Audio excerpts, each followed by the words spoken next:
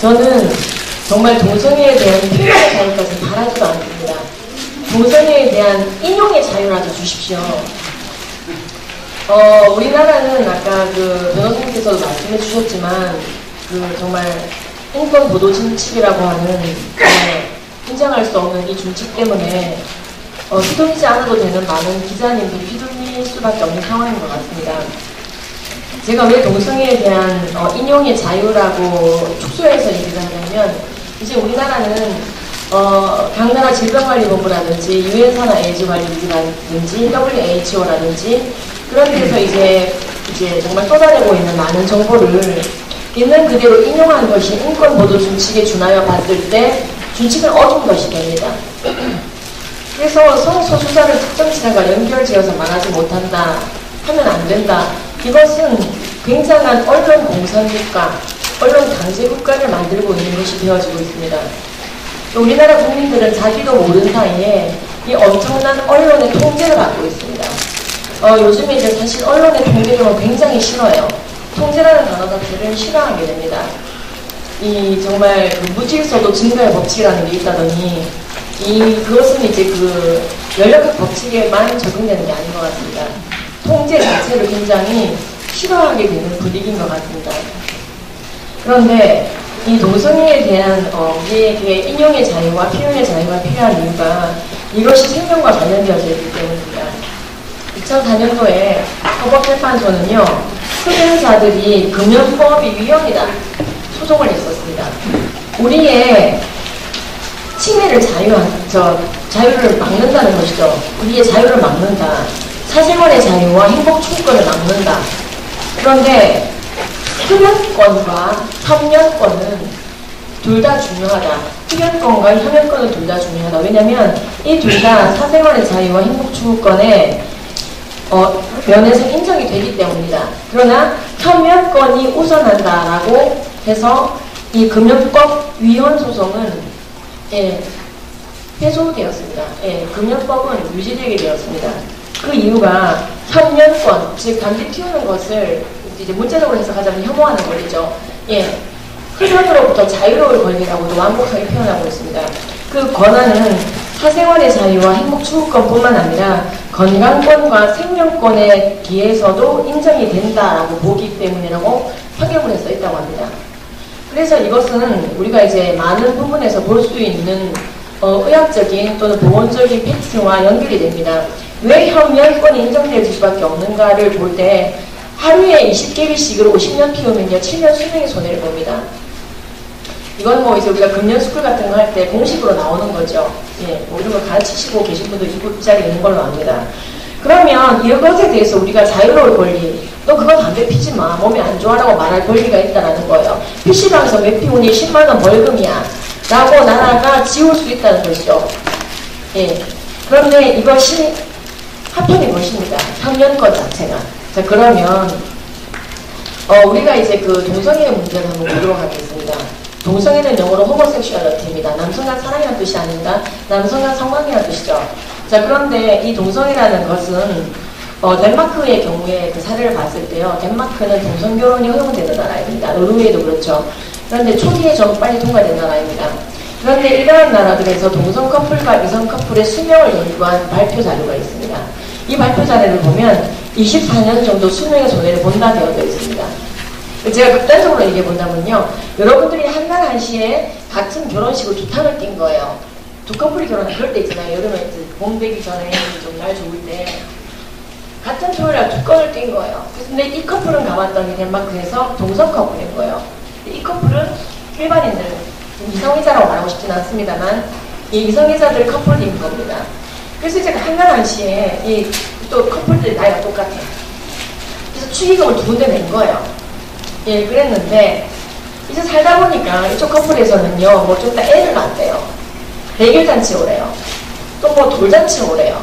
그러더니만 좀 있다가 뭐 학교 들어갔대요. 뭐 졸업을 한대요. 그러다 보니까 또, 그러다 이제 이 커플이, 예, 결혼한 지 얼마 안 된 것 같은 이 커플들이 이제 나이가 먹어가지고요. 뭐 나와같이 늙어가겠죠. 그러다가 뭐 환갑잔치를 한다는 거죠. 아, 좀 잊어버리려고 했는데 또 칠순잔치를 한다는 거죠. 가봤더니만 손주가 부글부글 한 거죠. 며느리가 들어온 거죠. 사위가 들어온 거죠. 그러고 있는 거예요. 그런데 한날 한시에 결혼한 커플이 있습니다. 그죠? 여기는 근데 동성 커플입니다. 24년의 수명의 손해를 본다였습니다. 그러면 71살이 되어 칠순잔치 난리가 난 이 집은 그러고 있는데 여기는 47에 둘 다 죽고 조혈병이 없는 거예요. 아시겠습니까? 이게 동성애입니다. 이걸 말하고 있는 게 덴마크의 불고인 것입니다. 우리는 이 동성애도 흡연 이상으로 생명권과 관련이 있는 것 같습니다. 그리고 이것은 사회의 존속과 예, 많은 직통되는 관계성이 있습니다. 그래서 이것은 이제 PPT를 이제 보시면 그런 내용은 없어 보이지만 이 나라들이 무슨 나라인지 아십니까? 이 나라들의 공통점이 무엇인지 아십니까? 이 나라들은요, 헌혈이 금지되어 있습니다. 누구의 헌혈이? 동성애자의 헌혈이 금지되어 있습니다. MSM의 헌혈이 금지되어 있습니다. MSM이란 맨 후에버 섹스 유맨, 남성과 성관계를 가진 남성이라 칭합니다. 미국 질병관리본부에 들어가 보면 MSM이란 게이와 바이를 말한다 이렇게 말하고 있습니다. 게이가 왜 성관계를 할 거라 생각하세요? 라고 말할 필요가 없습니다. 게이 뜻이 그런 거예요. MSM이라고 있는 겁니다. 자, 그런데 이러한 헌혈 금지 국가들에서 상당수가 참 재미있는 현상이 벌어집니다. 프랑스, 지금 제가 읊어, 저 나라들 중에서 읊어드리는 나라들의 공통적으로 좀 더 맞춰보십시오. 재밌다고 했죠? 프랑스, 벨기에, 덴마크, 네덜란드, 노르웨이, 아르헨티나, 아이슬란드 이런 나라들은 공통점이 뭡니까? 네? 이거 답 맞추면요. 기자님, 저희 이자 한번 주실 거죠? 네, 들려주시면 뭐라고 하셨습니까, 방금? 네, 이건 지금 제가 보여드린 나라는 모두 헌혈구축 국가인데 제가 읽어드린 나라들은 어떤 나라? 어, 동성결혼이 허락된 나라예요. 동성결혼이 인권으로 인정된 나라입니다. 그래서 동성결혼이나 동거법이 대부분 통과된 나라들이 많이 있는데 헌혈은 안 된다는 거예요. 에이즈에 안 걸리고 비형 간염에 안 걸려도 남성과 성관계 잘하는 이유로 헌혈이 금지되어져 있는 나라가 그렇게 많습니다. 언제까지? 죽을 때까지. 그걸 헌혈 전면 금지 국가라고 합니다. 물론 이제 단서가 요즘에 생겼습니다. 영국과 네덜란드는요. 그러나 1년간 정절을 지킨 남성 동성애자와 선언을 하지 않은 남성 동성애자의 피는 받아준다. 근데요, 1년간 추적할 겁니까? 그죠? 양심을 만드는 거예요. 결국 하지 말라는 거예요. 지금 프랑스는요, 지워졌습니다. 작년에. 왜? 이제 1년 제한 국가로 떨어졌습니다. 2017년이 되면 그나마 1년 제한도 사라집니다. 1년 제한이라는 건 뭐냐면요. 어, 내가 8개월 전에 남성과 성관계한 MSM입니다. 그러면은요, 아, 4개월 더 있다고 해요. 그때 헌혈가는. 그 4개월간 정절 지키시고. 우리나라랑 같은 겁니다. 우리나라 커트라인이 1년이에요. 우리나라 이제 헌혈 문제 카드를 들어가 보면 어, 그러한 조항이 있습니다. 이제 헌혈을 하실 때 대충 보지 마시고 그 어떤 질병이 없어도 나는 남자와 1년 안에 성관계한 적이 있습니다. 체크가 되어버리면은 적십자사 필요 안 받아줘요. 물론 양심에 맡깁니다. 그것도. 했는데 안 했다 그러면 그만이죠. 제가 알고 지내는 에이즈 환자분도 헌혈을 두 번 했다 그랬어요. 그래서 두 번째 헌혈 때 자신이 에이즈 걸린 걸 알았다고 그랬었어요.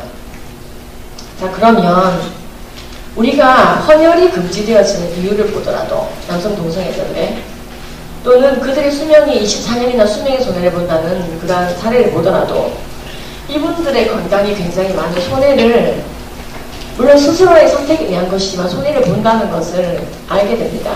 뭔가 일반인과는 다른 건강 상태를 보인다는 걸 알게 됩니다. 미국 질병관리본부는 LGBT의 건강 코너와 일반인들 건강 코너가 분리되어 있습니다. 자 그러면 제가 이런 말을 인용하는 게 인권보도 규칙 어기는 겁니까?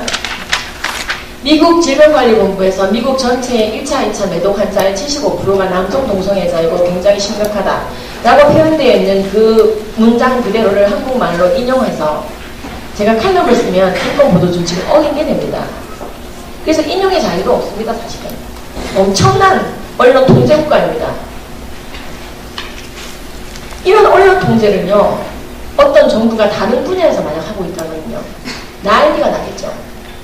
근데 지금 난리가 안 나고 있는 이유는 속고 있기 때문입니다. 모르고 있기 때문입니다. 어, 태국은 HIV 재단의 입을 통해서 이렇게 말했습니다. 태국 게이의 31%가 이미 에이즈에 걸렸다. 굉장히 심각하다. 콘돔을 세 개를 써라. 이게 태국의 발표입니다. 그러면 태국 개인의 31%가 에이즈에 걸렸다는 말은 개인가 세명 지나가는데 한 명이 에이즈 걸리는 거예요. 일반인들이 남성과 성관계를 하지 않은 일반인들이 만 명 중에 한 명 거를 보인다라고 하는 일반적인 통계를 봤을 때 이거는 도대체 몇 배의 비율을 보는 것입니까? 그렇죠. 3,000배 이상이죠. 그런데 이것을 인용하는 것이 태국 HIV 재단의 말을 인용하면 인권보도 준칙을 어긴 게 됩니다. 미국 질병관리본부는요, 미국의 에이즈 발생, 신규 발생의 상당 부분 높은 프로테이지가 남성 동성애자로부터 말려갔다라고 명시하고 있습니다. 내가 어, 뜻밖의 또 일본에 음통해 버려진 거야. 그래서 읽어버린 거야. 그래서 막 아무 생각 없이 인용한 거야. 인권 보도 준칙에 위배되는 인용을 하게 됩니다. 유행사나 에이즈 관리국에 들어가 보면요. 아주 뭐 처정합니다. 처정해. 굉장히 자세히 나옵니다. 뭐 무슨 성소수자의 계급이 나옵니다. 막 인도 같은 경우에는. 게이보다 트젠이 낫네. 트젠은 계속 콘돔 쓰다는 말을 못하네. 이네들은 에이즈가 많네. 난리가 났어요. 인도에서 게이가 굉장히 많이 에이즈에 걸리는데 트랜스젠더는 그보다 3배 더 많이 걸린다고 돼 있어요. 이유도 나와 있습니다. 미국 오리엔탈 남성 동성애자가 백인 남성 동성애자보다 왜 에이즈가 덜 걸리는가 나옵니다. 자업이 있기 때문에 그렇다고 있어요. 직업이 있기 때문에. 직업이 있으면 지위가 높아요. 그러면 좀 뭔가 예방 조처를 한다든지 뭐 콘돔 쓰라는 말을 먼저 한다든지 할 수가 있는 것이죠. 지위가 낮은 사람은 그 말을 못한다는 거예요. 이런 말을 인용하면 그들의 행태를 그대로 내가 인용했기 때문에 인권보도 준칙을 어긴 것이 되는 것입니다. 마이티드 박사는요, 동성애자들이 8배 더 많이 자살한다고 말했습니다. 영국 건강보건국은요, 어, 여성에서 여성 건강국에 들어가 보면요, 레즈비언이 일반 여성보다 3대암에 더 많이 걸린다고 했고, 이유가 full pregnancy 기간이 없기 때문이라고 말하고 있습니다. 임신을 안 하니까 뭐 이제 그 호르몬의 10개월에 임신 유지 호르몬에 의해서 예방되어질 수 있는 많은 부분의 여성 3대암이 예방 안 된다는 간단한 내용이거든요. 과학입니다. 그리고 에이즈는 일반 여성과 같은 비율이나 어, 또 다른 성병에 대해서 더 많은 감염을 보이고 있는 성병 이름이 나옵니다. 레즈비언의 경우에. 요거 말하면 인권보도 준칙에 위반되는 게 되는 겁니다. 우리가 언론 통제 국가 안에 지금 살고 있어서 그렇죠. 여러분 딴 나라 페이지에 가보십시오. 별세계입니다. 구글에 들어가서 여러분 gay blood Russia roulette 딱 쳐보세요. 영어로.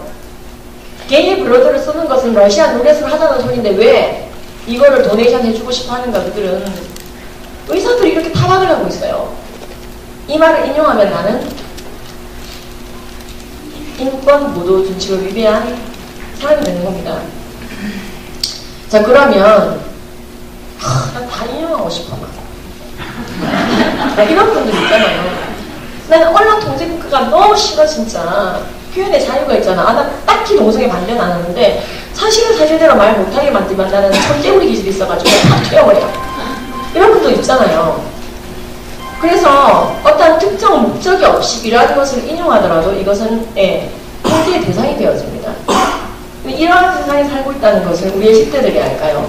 10대들은 10대 특유의 의문이 있습니다. 그쵸, 우리도 그랬었잖아요. 별게 다 불만이잖아요. 저 제가 여자인 것도 불만이었어요. 왜? 뭐 근육량도 부족한 것 같아. 뭐 집에서도 좀 차별이 있는 것 같아, 사회적으로도. 모든 사람은 자기 성불만족이 있대요. 근데 이 의문이 있는 날, 아니, 또는 의문을 안 할게. 왜 분노가 있는 날에는 막 그러면서 막 화가 나는 거예요. 그런데 이 언론 통제를 받고 있다는 것을 우리 10대들이 모르길래 완전이죠. 사실 이걸 알게 된다면 참 많이들 댓글로 알릴 것 같습니다. 제가 드리고자 하는 말씀은요. 만약에 기자분들이 다 백 기자님처럼 용감할 수가 없다면 그 누군가의 입이라도 빌려야 됩니다. 어, 저도 성경 말씀 하나 생각납니다. 어린 아이의 입을 빌려서 진리를 선포하고 부끄럽게 할 것이라 하신 말씀이 생각이 납니다. 그래서 정말로 나중된 자들이 이 일을 감당해야 될 정도로 어른들이 지금 아무것도 안 하고 있는 게 아닌가 생각을 해봅니다. 우리나라는 작년에 1191명이 신규로 에이즈에 걸렸습니다. 그런데 그 중에서 653명이 왜 에이즈에 걸렸는지를 허심탄회하게 말해주었고 나머지 40%는 묵비했습니다. 자 그런데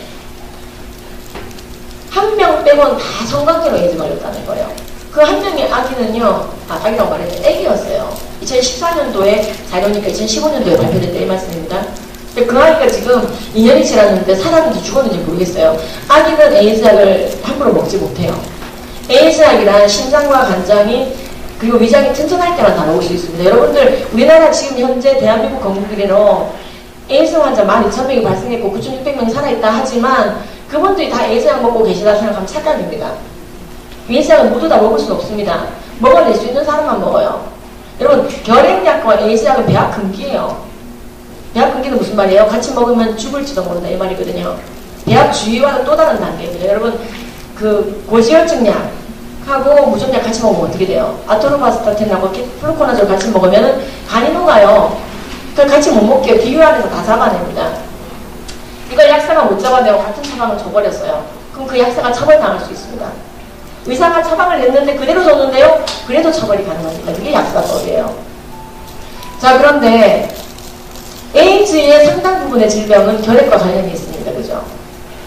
우리나라에서 돌아가신 에이즈 환자의 30% 이상이 무슨 합병증으로 돌아가십니까? 굶어 죽는다고요? 아니요. 결핵이에요. 그러면은 결핵에 걸리게 되면요. 이분은 결핵약을 드셔야 됩니다. 그동안에 에이즈약을 먹지 못합니다. 근데 이 결핵이 이분들이 완치가 잘 안 돼요. 면역력이 다른 분보다 떨어져 있기 때문에 후천성 면역결핍증 아닙니까 에이즈가. 그러니까는 결핵이 무차별적으로 장기에 퍼지게 되는 원인이 제공되어지는 겁니다. 그러다 보니 이제 이도저도 못하다가 굉장히 힘들어지는 거죠. 그래서 에이즈 환자분들은 굉장히 결핵을 조심하셔야 됩니다. 왜냐하면 결핵약과 에이즈약은 배합하기 동시에 먹을 수 없기 때문입니다. 그래서 결핵이 나올 때까지는 결핵약을 먹거나 결핵을 방치하고 피를 토하도 중요하게 수도하는 에이즈약을 먹겠다 한다면 그래서 예, 목숨 걸고 두 가지를 먹는 방법이 있죠. 그러나 분명히 이것은 배합형이기 때문에 나에게 만약에 그 처방전이 온다면 저는 거부하겠어요. 원래 처방전은 거부할 수 없습니다. 거부할 수 없는데 금기인 경우는 가능해요. 자, 얘기하자면 끝이 없어요, 사실은. 예, 정리를 하겠습니다. 우리나라는 2011년도 국민건강증진개발계획서에 따르면 남성 동성애자들이 콘돔 잘 쓰고 에이즈 수검률을 40%까지만 올리면 굉장히 많이 우리나라 에이즈가 컨트롤 된다고 말하고 있습니다. 그러나 이 질병관리본부는 남성 동성애자들이 그러한 행위가 에이즈의 유발 내게 비밀인 것에 대해서 애매하게 말하고 있습니다.